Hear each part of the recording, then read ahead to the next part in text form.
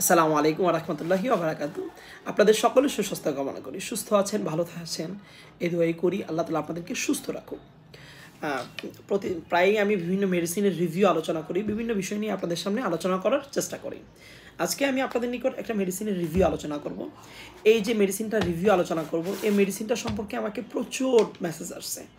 আমাকে অনেক মা বোনরা বলছেন, ভাই স্যার, এই বিষয়টা সম্পর্কে আপনি একটু বিস্তারিত আলোচনা করুন। কারণ এই বিষয়টা আমরা অনেকেই বুঝতেছি না এবং এই সমস্যায় আমরা অনেকেই পড়তেছি। প্রতিটা গর্ভবতী মাই জন্ম, বেবি জন্ম হওয়ার পরে কম বেশি এই সমস্যার মধ্যে পড়ে যে সমস্যাটা নিয়ে আলোচনা করব, ঠিক আছে? আপনারা খুব ধীরস্থিরভাবে শুনুন কথাগুলো এবং বোঝার চেষ্টা করুন। যদি কোনো প্রশ্ন আপনি যদি বুঝতে সমস্যা হয় যে, ভাই, আমি বুঝতেছি না, স্যার, আমি বুঝতেছি না, অবশ্যই আমাদেরকে মেসেজ করবেন। আমরা চেষ্টা করব আপনার উত্তরটা আপনার নিকট পৌঁছে দেওয়ার জন্য। ঠিক আছে? আচ্ছা যে মেডিসিনটা আলোচনা করব, সেই মেডিসিনটা হয়েছে বেক্সিমকো ফার্মাসিউটিক্যাল কোম্পানির মমবিট মমবিট এই মেডিসিনটা এই মেডিসিনটা হয়েছে ওই ধরনের মা বোনদের জন্য যে মা বোনরার বেবি বেবি হয়েছে এবং বেবি হওয়ার পরে আপনার বেবি ঠিকমতো মায়ের দুধ পাচ্ছে না। মানে ঠিকমতো দুধ পাচ্ছে না মায়ের বেবি বুঝতে পারতেছেন তো? অর্থাৎ মায়ের বুকে দুধের পরিমাণ কম। মানে দুধ ঠিকমতো মায়ের দুধ মা ঠিকমতো মায়ের বডি থেকে যে বেবিকে খাওয়ার জন্য যে দুধটা সেটা সঠিকভাবে উৎপাদন হচ্ছে না বা তৈরি হচ্ছে না এবং বেবিও পাচ্ছে না। আর একটা কথা, মায়ের দুধের বিকল্প কিছু নেই। কারণ আল্লাহ সুবহান আল্লাহ তালা একটা বেবির জন্য, জন্ম হওয়া একটা বেবির জন্য মানে মায়ের দুধের চেয়ে উত্তম কোনো কিছু পৃথিবীতে দেয় নাই এবং মায়ের দুধটাই সবচেয়ে উত্তম একটা উপাদান একটা বেবির জন্য। বুঝতেই পারতেছেন, মায়ের দুধ কতটা উপকারী এবং কতটা গুরুত্বপূর্ণ ভূমিকা রাখে। সেক্ষেত্রে বলার কোনো অবকাশই রাখে না।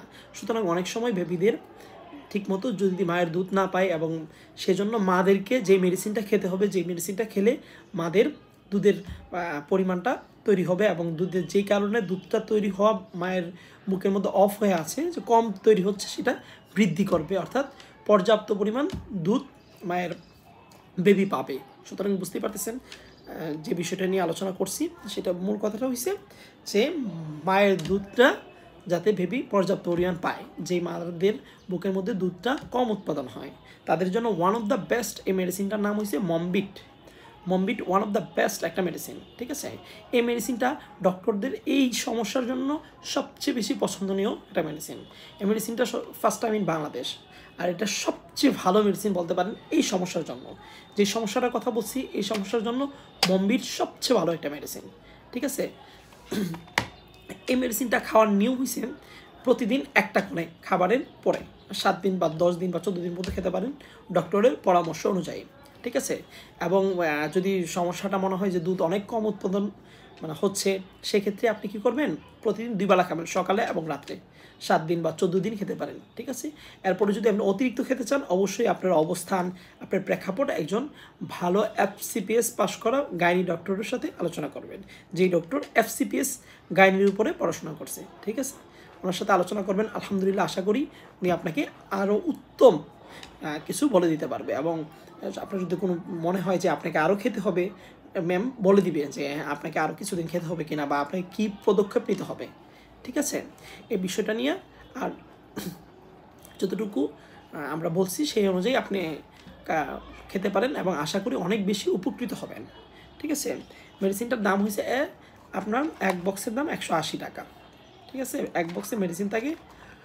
আপনারা দেখাচ্ছি আমি আপনাদেরকে, এই দেখেন, তিরিশ এক বক্সে মেডিসিন থাকে আপনার ষাটটা করে। অর্থাৎ প্রতি পিস মেডিসিনের দাম মাত্র তিন টাকা। তিন টাকা পিস মেডিসিন দামিও কিন্তু সাশ্রয়ী। খুব বেশি যে দাম, এরকম নয়। দামেও সাশ্রয়ী একটা মেডিসিন আর সবচেয়ে বড় কথা হচ্ছে এটা, বাংলাদেশের বেস্ট একটা কোম্পানি বেক্সিমকো ফার্মাসিউটিক্যাল কোম্পানির একটা মেডিসিন সুতরাং বুঝতেই পারতেছেন এটা কতটা ইফেক্টিভ কতটা ভালো একটা মেডিসিন প্লিজ যারা আমাদের চ্যানেল এখনও সাবস্ক্রাইব করে নেই সাবস্ক্রাইব করে নেন, পাশে থাকা বেল অন করে নেন। এতে করে আমাদের সকল ভিডিও সবার আগে আপনাদের কাছে পৌঁছে যাবে।